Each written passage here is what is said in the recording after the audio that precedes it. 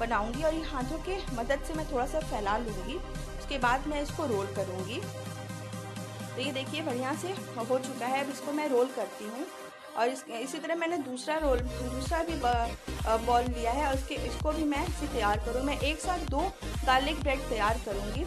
ये देखिए बढ़िया से मैंने हाथ से इसको बढ़ा फैला लिया। उसके बाद जो है मैं बेलन की वजह सहायता से मैं इसको फैला रही हूँ।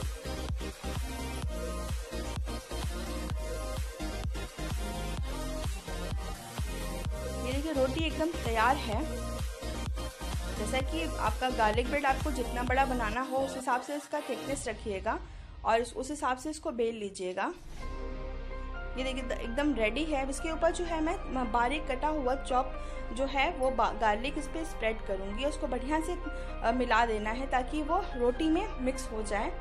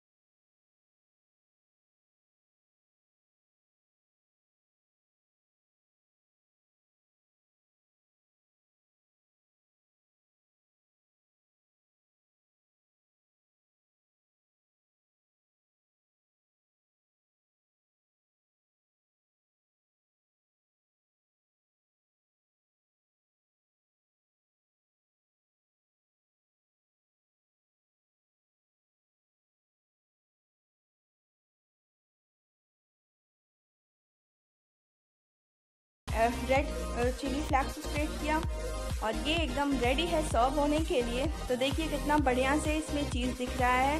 अब इसको आप अपने घर में बनाइए, खाइए और खिलाइए। और अगर आपको बहुत अच्छा लगे तो मेरे इस वीडियो को लाइक करिए शेयर करिए कमेंट करिए। और अच्छा लगे तो इसको सब्सक्राइब करना ना भूलिए। तो मैं ऐसी ही वीडियोस आपके साथ शेयर करती रहूँगी।